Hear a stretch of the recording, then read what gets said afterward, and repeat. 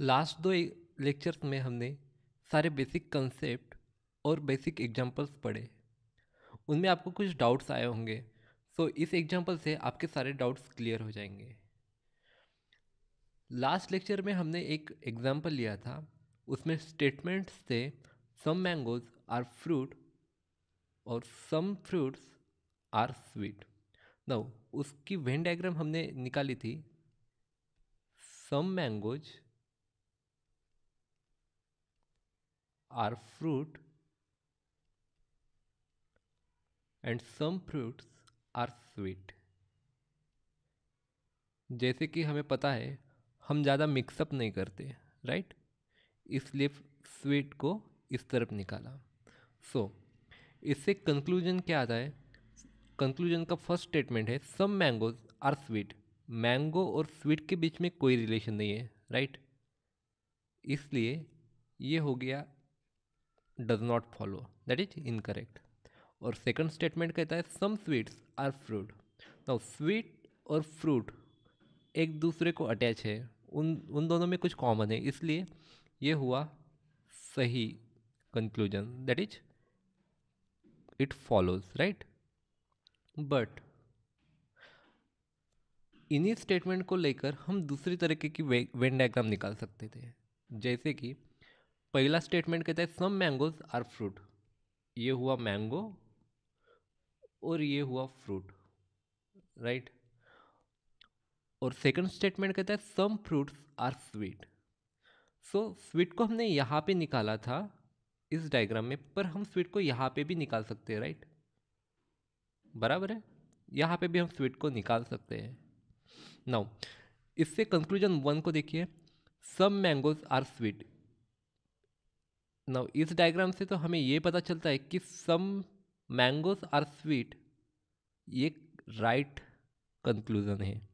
It follows but इस diagram से हमें पता चलता है कि it it does not follows so सही आंसर क्या होगा?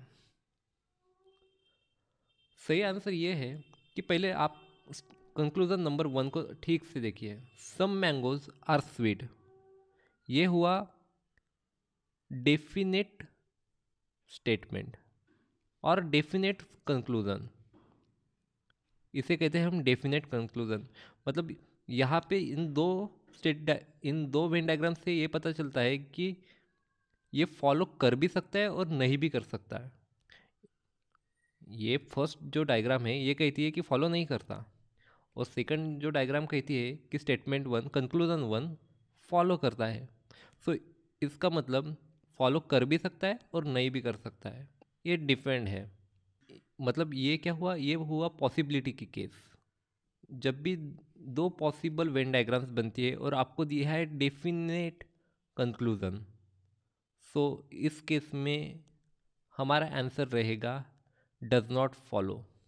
हाँ बट आपको स्टेटमेंट अगर ऐसा दिया हो, some mangoes are sweet is possibility possibility now यहाँ पे बोल रहा है पॉसिबिलिटी ये हुआ पॉसिबिलिटी का स्टेटमेंट राइट ये डेफिनेट स्टेटमेंट नहीं हुआ. डेफिनेट स्टेटमेंट ये हुआ और ये पॉसिबिलिटी का स्टेटमेंट हुआ. तो डेफिनेट स्टेटमेंट में आएगा does not follow because follow हो भी सकता है और नहीं भी हो सकता है. बट पॉसिबिलिटी में हमको बस पॉसिबिलिटी चेक करनी है.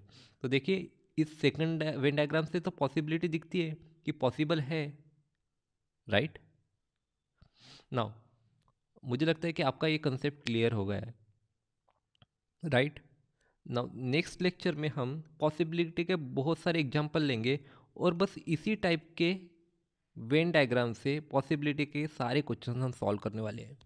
अभी आपको इस टाइप के वेन डायग्राम को भूल ही जाना है। बस इसी टाइप के वेन डायग्राम से हम पॉसिबिलिटी के सारे एग्ज़ाम्पल सॉल्व करेंगे और बाकी सब भी एग्ज़ाम्पल इसी टाइप के वेन डायग्राम से हम सॉल्व करने वाले हैं। सो नेक्स्ट लेक्चर में हम पॉसिबिलिटी के एग्जाम्पल्स लेंगे और एटलीस्ट टाइप के एग्जाम्पल्स लेंगे।